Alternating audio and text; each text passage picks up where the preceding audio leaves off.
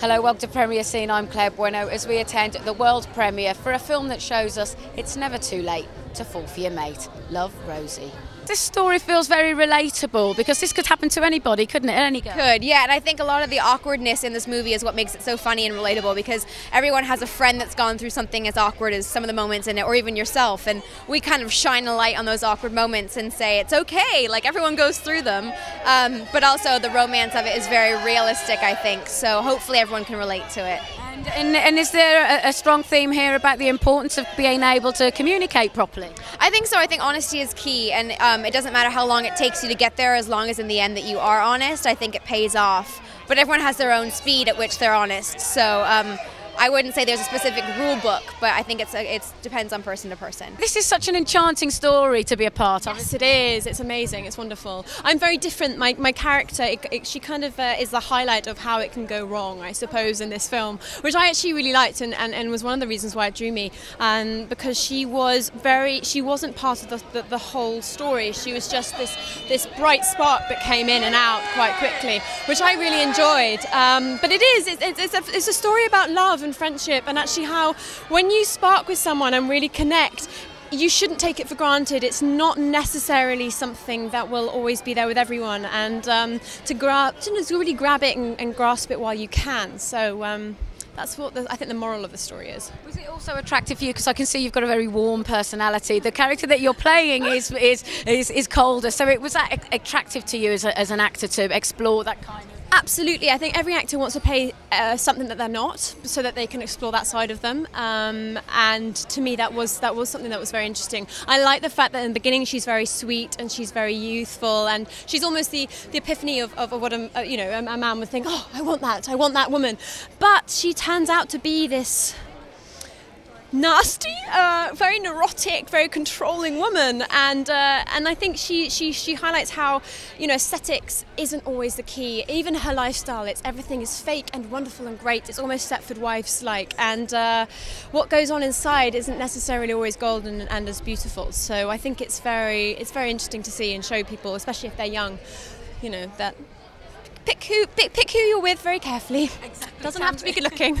How does a girl from Devon get to get a big audition for this? Um, my agent, she's um, I've I've changed agents now, but um, I used to be with Sylvia Young, and she was absolutely incredible. My agent there, um, I absolutely loved her. She'd give me such good roles and auditions. Um, but now I'm with United Agents, Lindy King, um, and she's incredible too. She puts me up for such good jobs. So it's really exciting. It's an exciting script, isn't it? Yeah, it is. It's really good. What did you like about it?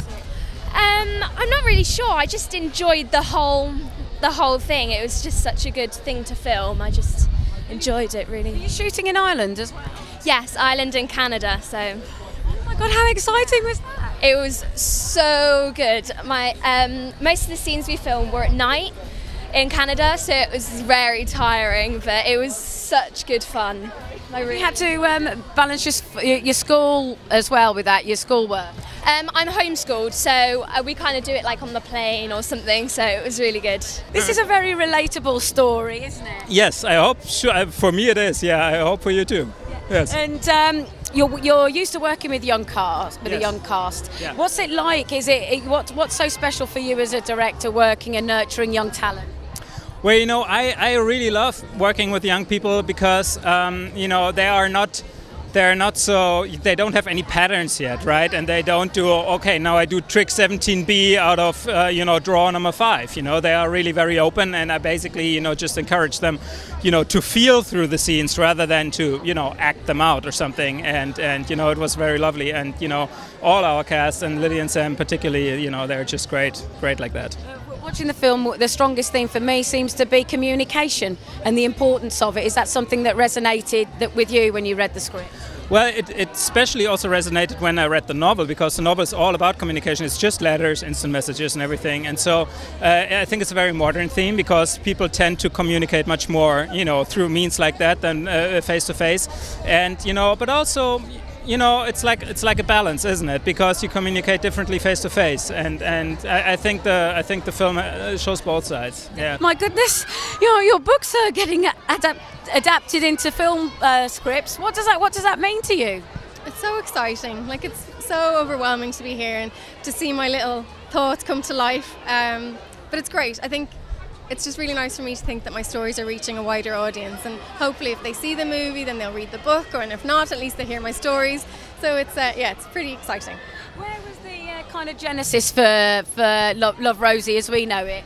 Well, the book is written entirely in letters and emails and, and letters. Um, yeah, letters, emails, texts. The communication between two people from youth, from like the age of five, passing notes at school, to all the way up to 50 in the novel, 30 in the movie. And I wanted to tell a story in, in their own words. You know, get inside the characters' heads and hear what it's like to, who they really feel, because I think that's what letter writing does. And uh, I mean, for me, watching the film, it felt like communication is such a strong theme, and and the importance actually of being able to be free enough to say what you really feel, because it has such an effect.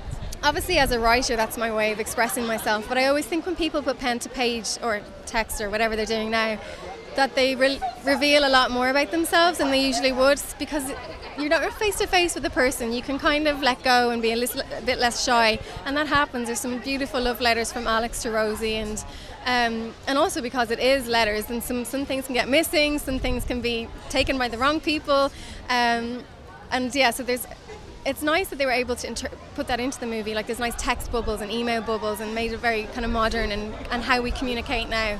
And with regards to the, the cast, is it was it difficult to picture what you had pictured in your mind to, to seeing the, the lovely actors that we see on the big screen now?